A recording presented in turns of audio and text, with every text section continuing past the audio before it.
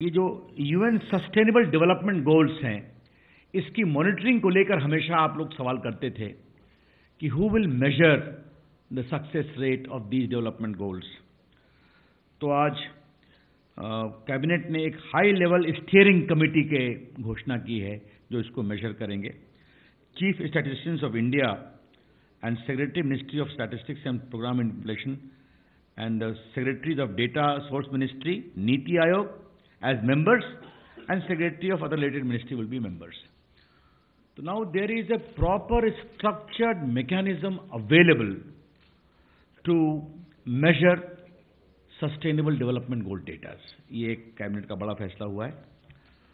बाकी कैबिनेट ने आज कई एमओयू को with Taipei with Afghanistan on chartered accountants फिर आपके सिंगापुर ऑन फिनटेक और उसके बाद एक दो और किया है, उसका आपको नोट मिल जाएगा, उसमें मैं आपको समय नहीं दूँगा, लेकिन ब्रिक्स के साथ भी किया है।